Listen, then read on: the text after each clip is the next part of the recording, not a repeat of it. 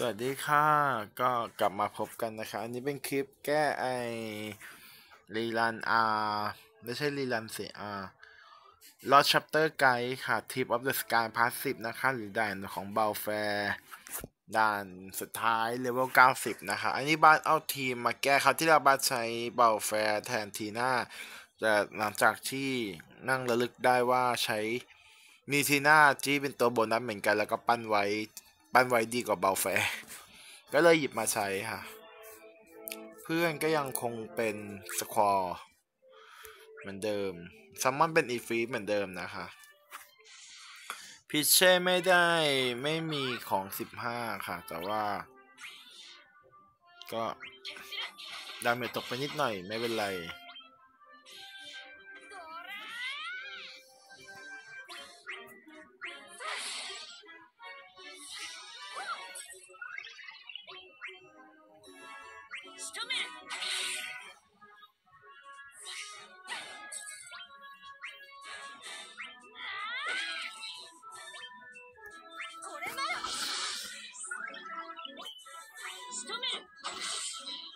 กะสุดเทิร์นจบสุดเทิร์นจบแบบแรก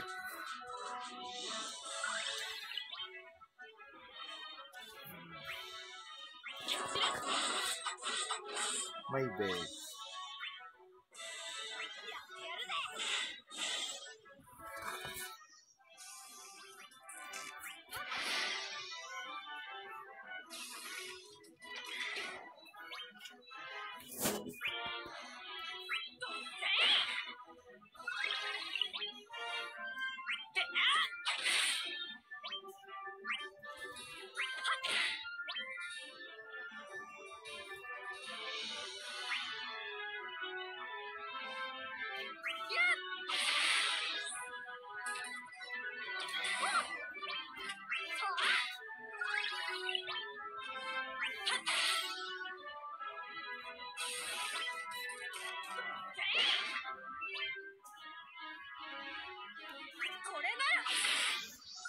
นี้ก็ 19 turn จบ wave สอง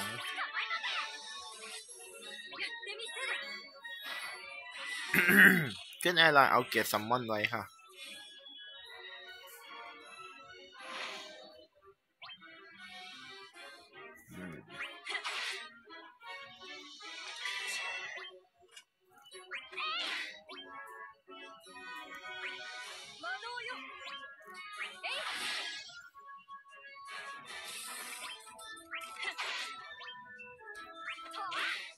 อันนี้บัตใช้เมลดาครั้งหนึ่งเพราะว่าจะเอาดีบัฟลดป้องกัน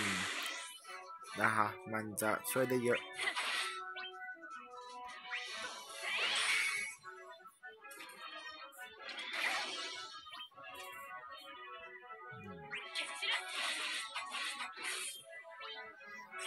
決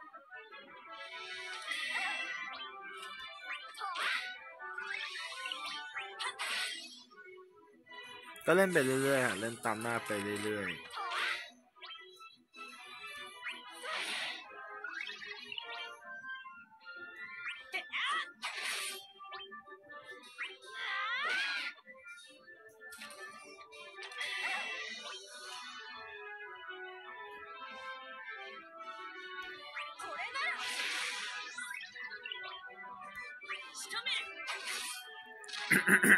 こ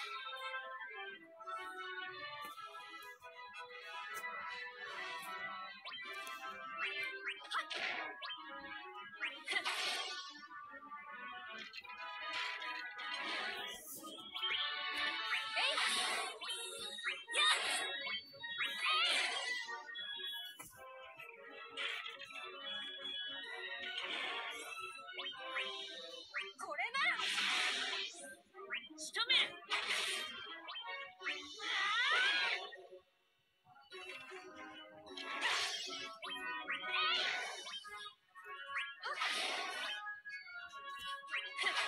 ไอตัวกระดูกเนี่ย ถ้าเกิดมันไม่ได้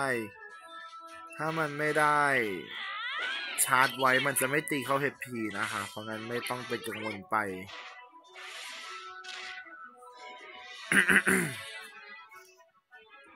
โอเคเข้าสู่เว็บบอร์ดแล้ว ก็เหมือนเดิมค่ะ เบรกทุกตัว พยายามแยกเทิร์นบอลจากกันก่อนสำคัญมากคือแยกเทิร์นบอลออกจากกันก่อนค่ะ อย่างในกรณีนี้ A อยู่หลัง B ใช่ไหมคะ ก็เบรก A ไปก่อนเลย แล้วก็แยก A ออกมา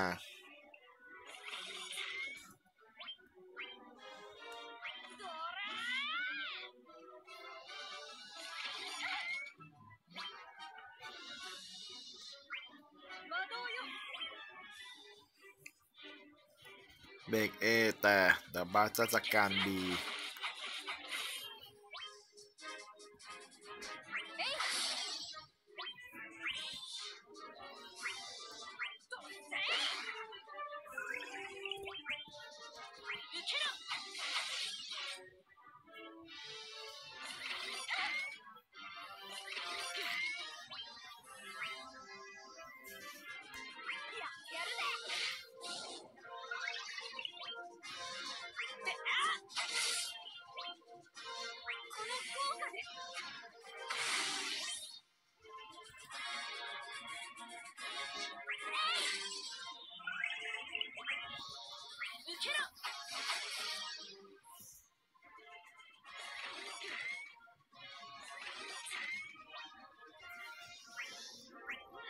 พยายามเล็งฆ่าตัวหนึ่งก่อนค่ะ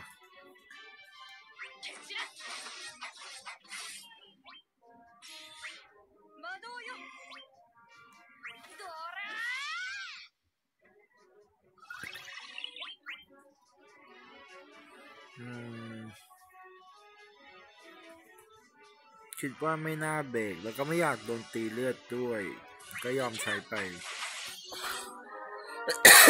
คือจริงตีบทติม่น่าจะเบรกนะฮะก็เลย ยอมกั้นใจใช้ใช้ไป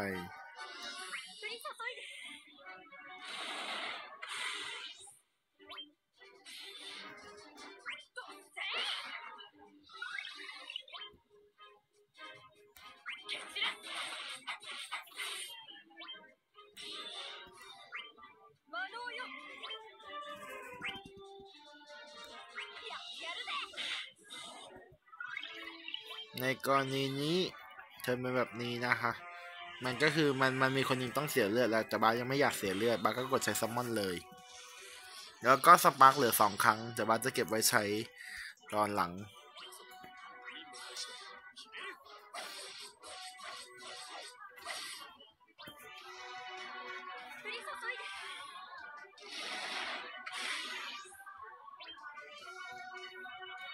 降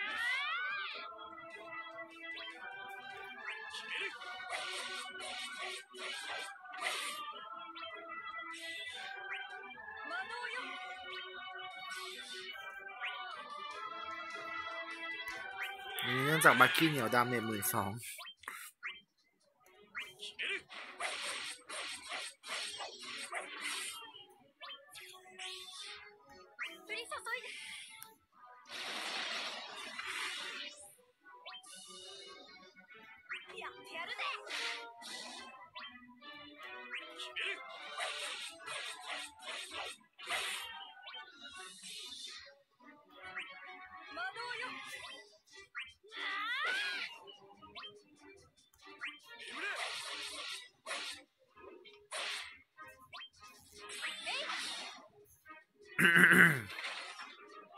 สควอโดนยิงไม่เป็นไรนะคะ เพราะว่า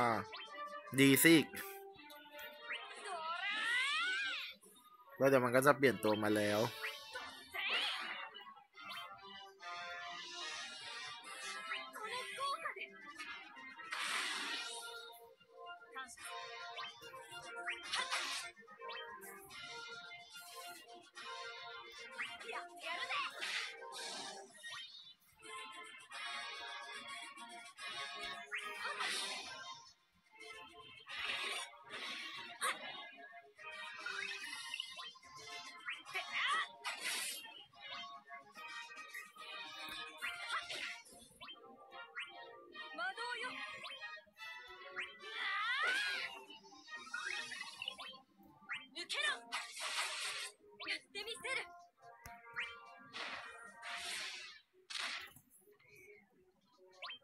แล้วนี่บัสใช้แบบนี้เพราะว่าบัสจะใช้เมเทโอให้เต็มประสิทธิภาพสุดนะฮะ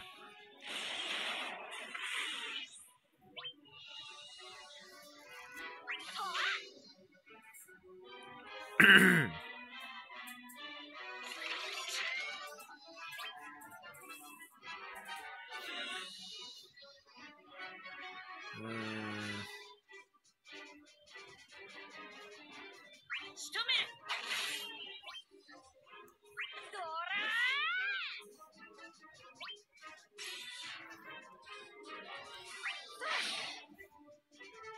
เจโดนเด็กแน่เลย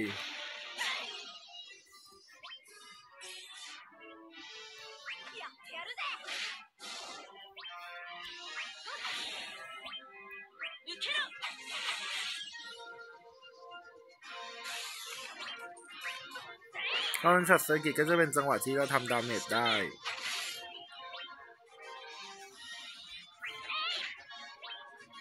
โอเคจบที่ร้อยสอง turn ร้อยสาม turn ค่ะ เล่นค่อนข้างจะง่ายกว่าบัลเธียร์ตอนเอาบาสเอาบัลเธียร์มาเยอะนะคะแต่ไม่ไม่แน่ใจว่า turn ใช้เยอะกว่าหรือเปล่า เพราะเมื่อกี้ดูเหมือนบาสเองก็มีพลาดไปสองสาม turn อยู่ที่ wave ต้นๆ ก็โอเคสกอร์ไม่ไม่ได้ต่างจากเดิมเท่าไหร่มากซึ่งอันนี้ผ่านเงื่อนไขเอาเพชรสามร้อยเม็ดกับตัวแน่นอนแล้ว ก็ส่วนตัวคิดว่าเอา Terra มาดีกว่าเอา Balthier มา เพราะว่าสบายกว่าในเรื่องการเคลียร์ damage ไม่ไม่เสียเวลาเยอะมากแล้วก็สามารถต่อเบฟทีละสี่ห้าพันได้ ก็เพื่อเป็นประโยชน์ค่ะ ก็โอเคขอบคุณมากค่ะ